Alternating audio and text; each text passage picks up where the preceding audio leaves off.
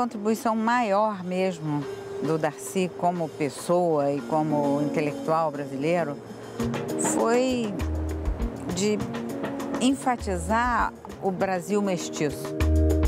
Ele era um, uma figura visionária, inquieto nesse sentido que você fala, intelectualmente também, encontrando brechas. O Brasil é o que é, é o melhor país do mundo, falava essas coisas, não é?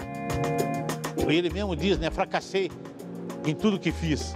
Tentei salvar os índios brasileiros, não consegui. Tentei dar uma educação de base para as crianças do meu país, para transformá-los todos em alfabetizados e não consegui. É, esse era o fabuloso fracasso do Darcy Ribeiro.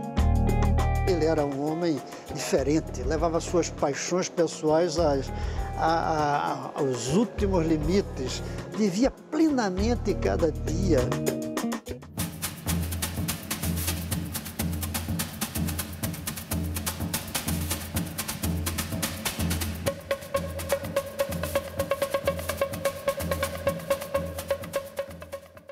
Em 1997, já bem adoentado, ele disse numa entrevista que estava exausto, mas querendo mais vida, mais amor, mais saber, mais travessura.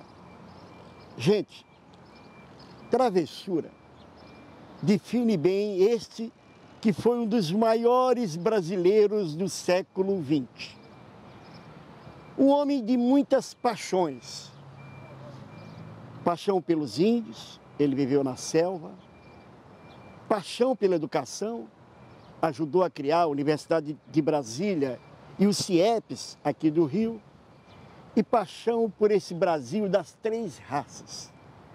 Tão bem celebrado na festa de carnaval aqui nesse sambódromo que ele ajudou a construir e que hoje leva seu nome. Os 90 anos de nascimento do antropólogo, educador, escritor e político Darcy Ribeiro é o tema de hoje do programa De Lá para Cá.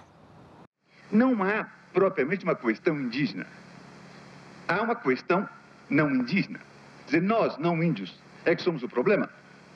Nós, por termos desembarcado aqui com uma pequena célula em 1500, com imensa potencialidade de crescimento, é que geramos esse problema, que ampliado e desdobrado ao longo dos séculos, foi indo caçar os índios onde quer que eles estivessem, como povos que não são nós, povos anteriores à grande destruição humana que se dá com as primeiras sociedades que se estratificam em classes.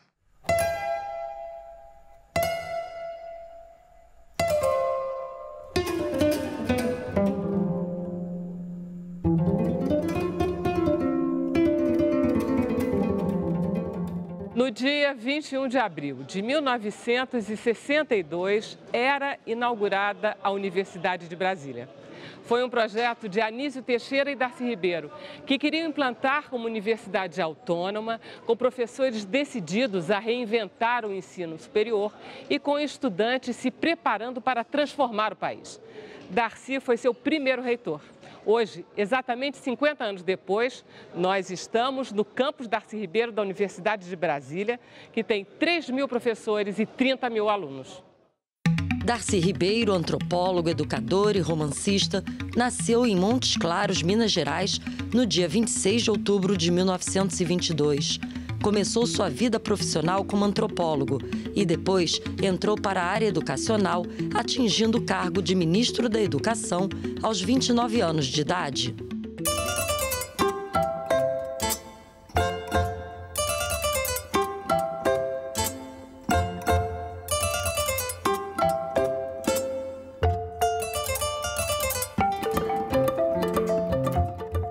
Ivone Magui é antropóloga e trabalhou com Darcy Ribeiro no IFIX. Como é que foi, Ivone? Então, é, bom, a minha relação com o Darcy é bonita, porque de alguma maneira eu considerava, antes de conhecer o Darcy, a pessoa mais incrível pela sua beleza, pela, né, sua, ele é uma pessoa extremamente atraente, E eu, na faculdade, tinha lido algumas coisas dele, especialmente política indigenista, um, enfim. Ele falava assim: nós temos que pensar nesse Brasil e nós temos que inventar esse Brasil, que é um, um, um, país criança, né? toda essa ideia de que a gente tem que se reinventar, que é verdade todo dia, e, e, mas a gente tem que pensar o país que a gente quer viver que a gente quer ser. E ele queria esse país mestiço. E a mestiçagem que não está na, não só no corpo, mas na alma, na cultura, na, na grandeza né, desse povo que, que construiu em cima de muita violência uma, uma cultura, digamos assim, esplendorosa. Né? Etnólogo do Serviço de Proteção aos Índios, Darcy Ribeiro dedicou os primeiros anos de vida profissional ao estudo dos índios de várias tribos do país. Fundou o Museu do Índio, que dirigiu até 1947 e colaborou na criação do Parque Indígena do Xingu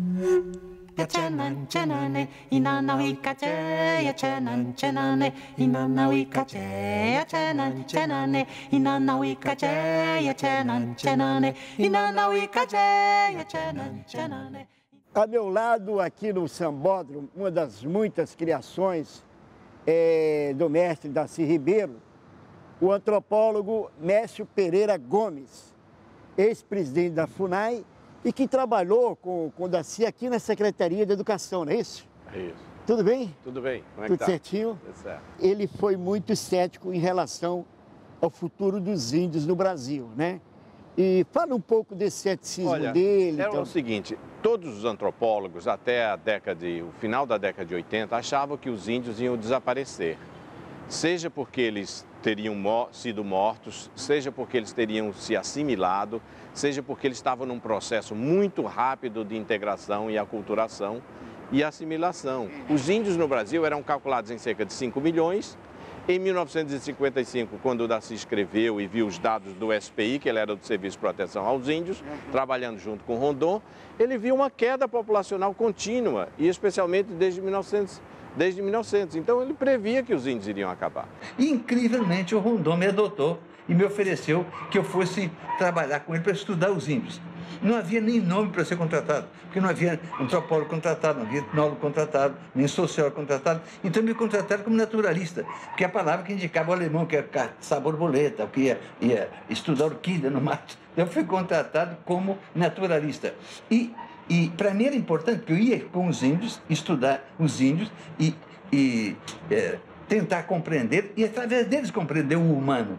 Então é uma coisa muito ambiciosa e eu me lancei nisso. Só que normalmente uma pessoa fica três meses, seis meses e passa o resto da vida gigolando aqueles, aqueles índios, falando e refalando daquilo. E eu, como gostei tanto dos índios e tinha a possibilidade concreta no serviço de produção dos índios e com Rondon de continuar, eu construí dez anos com os índios. Embora não seja bem enquadrado a visão do Darcy, é a visão é a esquerda do Gilberto Freire.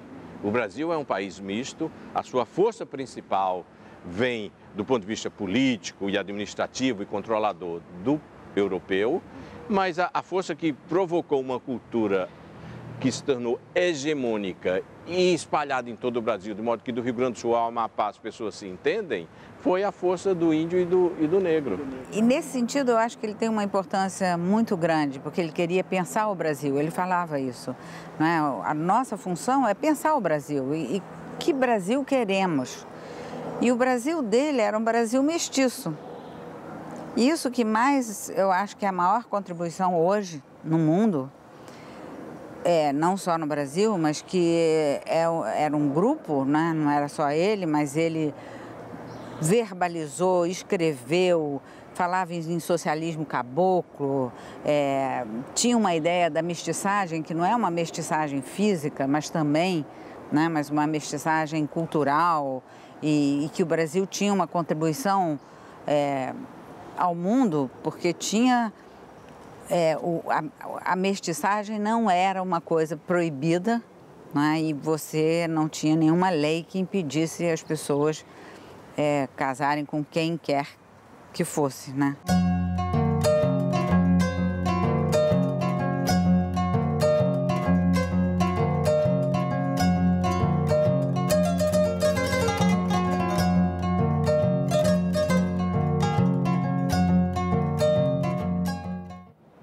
Aqui na Casa França Brasil, uma das criações do mestre Darcy Ribeiro. E ao meu lado, um colega jornalista, um, um escritor, Toninho Vaz. Tudo bem, Toninho? E Anselmo? Tudo certinho? Tudo certo. Ô, Toninho, você escreveu um livro sobre a vida parlamentar é, do Daci. Aliás, mais do que isso, você foi um próximo amigo do Daci. Fala um pouco do Daci para, enfim, para as novas gerações. Qual a importância do Daci eh, no cenário intelectual brasileiro?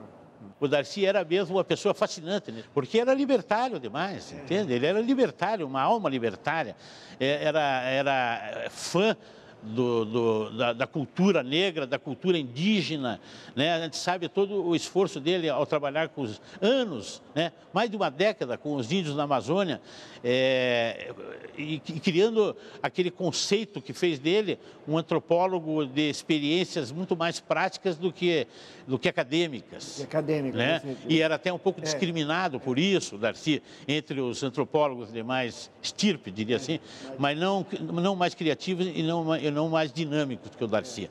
Nesse ponto, o Darcy, é, ele englobou tudo, ele esqueceu a, a cátedra e foi logo viver com, com, com o que o sambódromo, o criador do sambódromo, é, é, pode estar sujeito a alguma crítica técnica ao sambódromo, como eu já ouvi, mas ninguém pode tirar o mérito de que a preocupação do Darcy com a cultura carioca popular, a mais popular, que é o carnaval. Que é o carnaval. É, tenha dado frutos e até hoje é, a gente sabe que o Sambódromo é um templo é, que merece respeito. Chama-se Passarela do Samba Daci Ribeiro, né? Isso.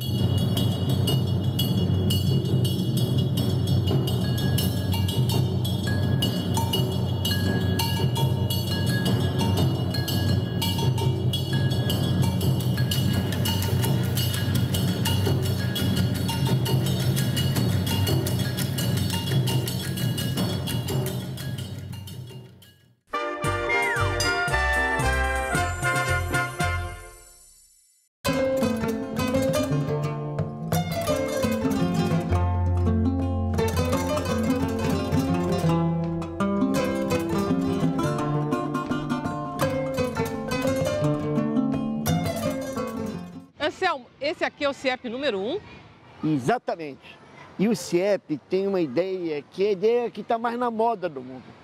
Hoje não tem nenhum país, nenhum país do planeta que esteja bem ali na foto da educação que não aplique pelo menos sete horas de aula por dia aos seus alunos. Quer dizer, a ideia de uma educação em tempo integral, que é uma ideia que vem lá do Anísio Teixeira, mas que no CIEP foi largamente plantada no Rio, pelo, pelo Daci é uma ideia atualíssima.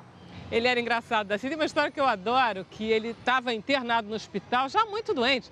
E aí ele fugiu do hospital, foi para a casa dele em Maricá. E aí perguntaram, mas Darcy, você fugiu do hospital? Na galhofa ele disse assim, esse médico, muito esquisito. O cara disse que eu estou com pneumonia dupla. Não é possível, eu só tenho um pulmão. Ele era muito engraçado, muito irreverente. Darcy Ribeiro organizou e dirigiu o primeiro curso de pós-graduação em antropologia e foi professor de etnologia da Faculdade Nacional de Filosofia da Universidade do Brasil. Criou a Universidade de Brasília, da qual foi o primeiro reitor.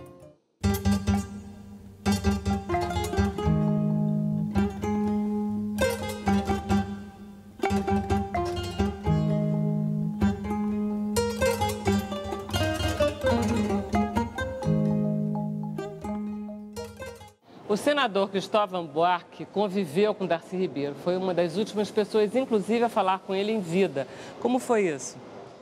Eu conversava com ele por telefone enquanto ele estava no hospital. E nessas conversas nós chegamos a marcar um encontro na casa dele para a semana seguinte. E ele faleceu antes.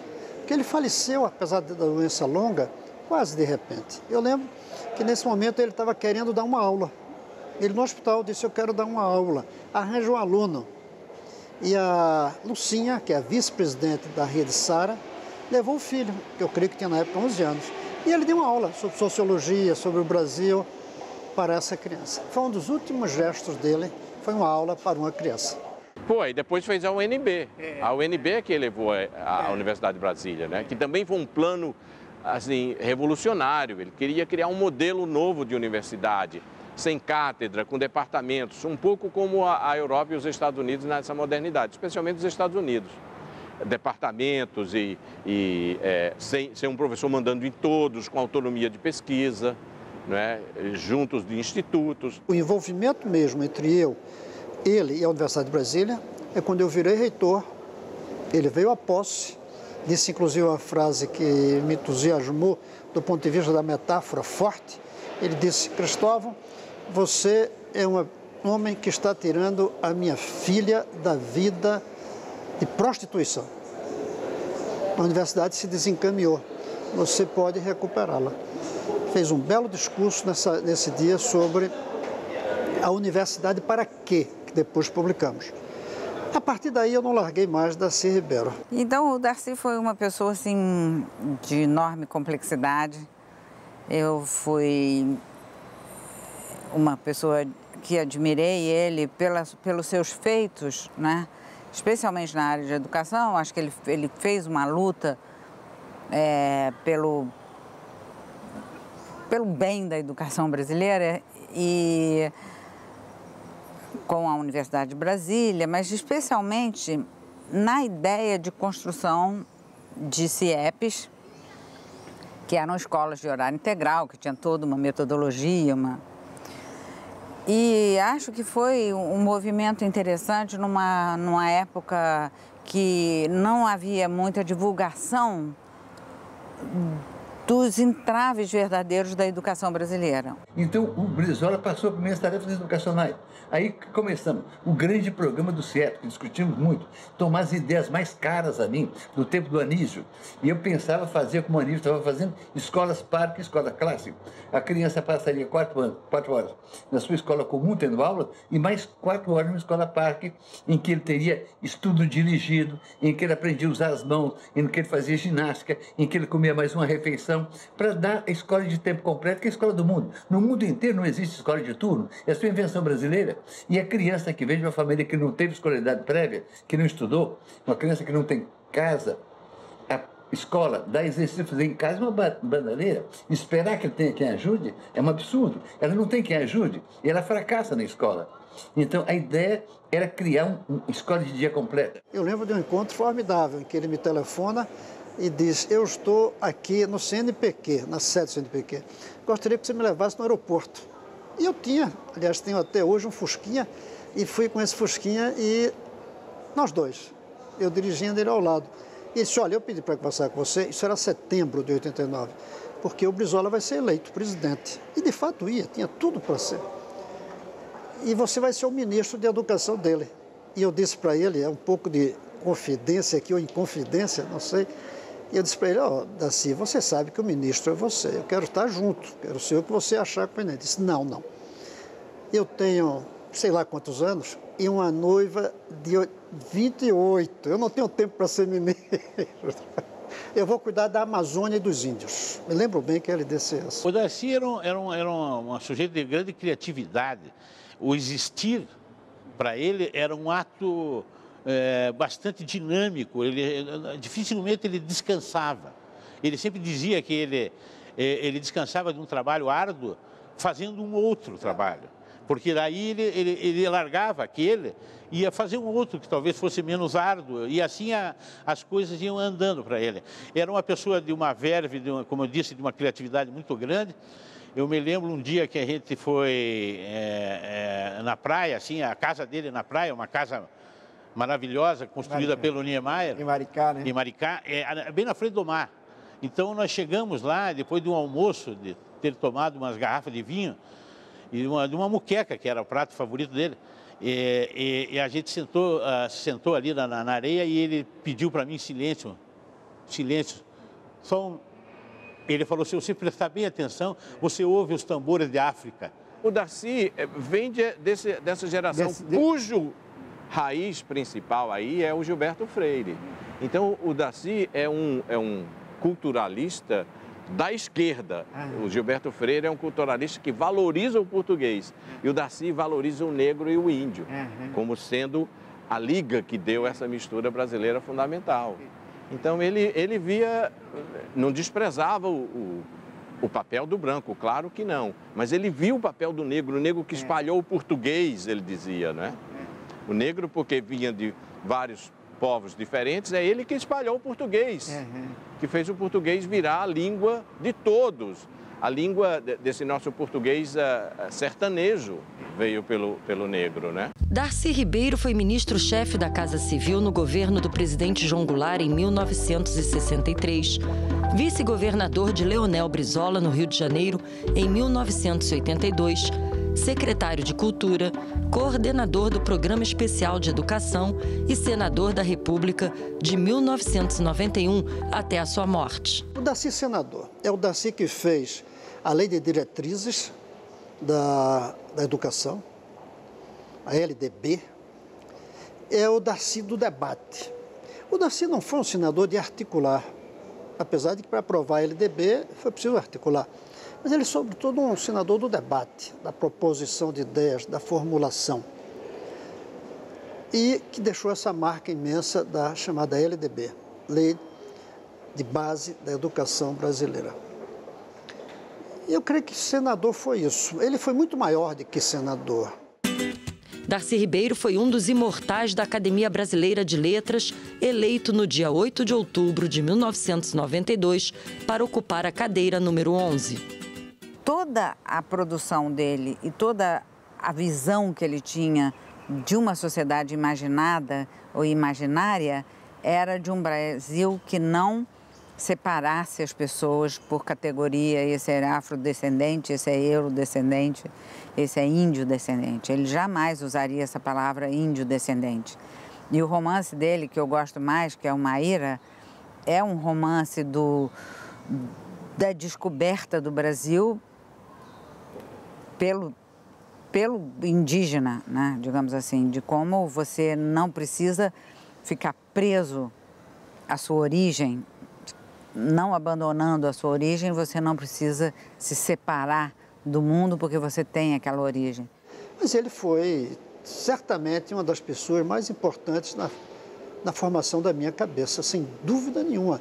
A visão dele do Brasil, continuando a verdade de Gilberto Freire, multicolorido né, das raças, a visão do papel da educação como instrumento libertador, muito mais do que a economia, a percepção de que o socialismo é menos a apropriação do capital pelo Estado e mais a garantia de escola igual para os filhos do trabalhador e os filhos do capitalista, tudo isso foi decisivo na minha formação. Eu acho que o Darcy fez falta à política brasileira porque ele tinha uma frase maravilhosa. Na vida, a gente só tem duas coisas: resignar-se ou indignar-se. São as duas únicas opções eu prefiro me indignar. Uma criança só tem sete anos uma vez. E depois oito, nove, dez. E se ele não tem educação aqui agora, porque não tem dinheiro, porque tem crise, ele está excluído. Então é preciso encontrar dinheiro em qualquer lugar. Escola, educação é uma pré-prioridade, é a prioridade básica. Você não pode jogar a criança na marginalidade, na criminalidade. Ele ficará mais caro no futuro se ele ficar na marginalidade com o revólver na mão.